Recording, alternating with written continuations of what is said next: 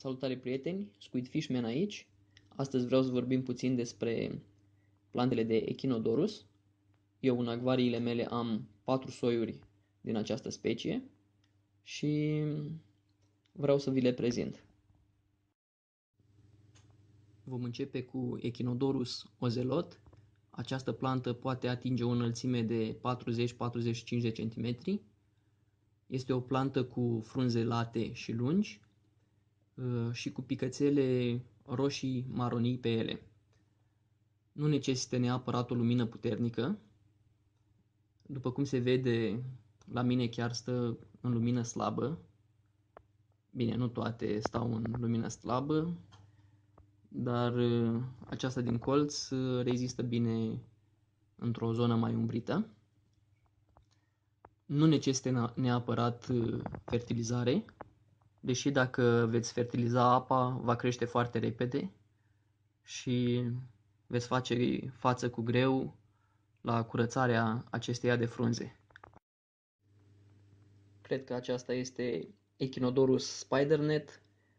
Am câteva plante și din soiul acesta.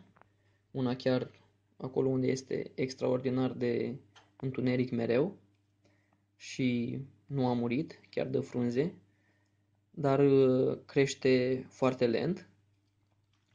Cea mai înaltă este aceasta, cred că are în jur de 30 de centimetri și am una chiar și în acvariul cu creveți, care la fel se dezvoltă foarte repede. Este o plantă care rezistă la o temperatură cuprinsă între 22 și 28 de grade Celsius frunzele sunt late și nu neapărat foarte lungi. Acesta este un Echinodorus Scarlet Snake. Este o plantă care are nevoie de puțin mai multă lumină. Am avut-o și în zone mai umbrite și nu a rezistat. Uh, frunzele acesteia sunt înguste și destul de lungi, poate ajunge chiar până la 50 de centimetri înălțime. Această plantă cu frunzele ascuțite este Echinodorus amazonicus.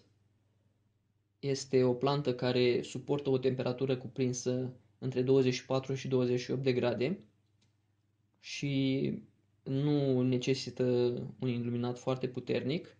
După cum se vede la mine este într-o zonă umbrită și chiar dacă arată foarte rău, Veți vedea acuși care este motivul.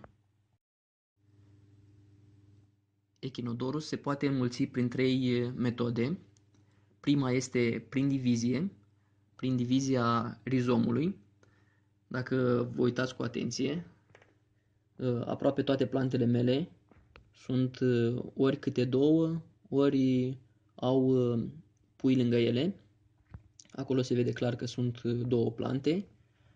Aici planta a dat un pui uh, lângă. Aici de asemenea sunt uh, două plante una lângă cealaltă. Aici nu știu dacă se vede foarte bine, dar vedeți acea frunzuliță mică mai roșiatică. Este a doua plantă. Și cel mai bine se vede aici, unde se vede chiar și rizomul. A doua metodă prin care aceste plante se înmulțesc este prin stoloni. După cum se vede la acest Echinodorus spidernet avem doi stoloni um, și patru plante tinere. Aici este una singură, dar în vârf uh, sunt uh, trei plante distincte. La Echinodorus Amazonicus. Am 8 stoloni, 8 stoloni mari, cu câte două plante fiecare și așa se explică de ce planta mamă arată în acest hal, pentru că probabil depune toată energia pentru, pentru creșterea stolonilor. Eu de obicei nu las să crească stoloni, pentru că nu înmulțesc aceste plante, dar uh, aceasta a fost o situație specială pentru că am vrut să, să vă arăt cum se înmulțește echinodorusul prin stoloni. A treia metodă de înmulțire a plantelor de echinodorus este prin semințe.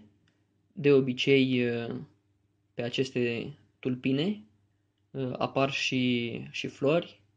Nu știu de ce la, la mine nu au apărut de această dată, dar vă pot spune că florile sunt mici și albe și din câte știu eu trăiesc doar o zi.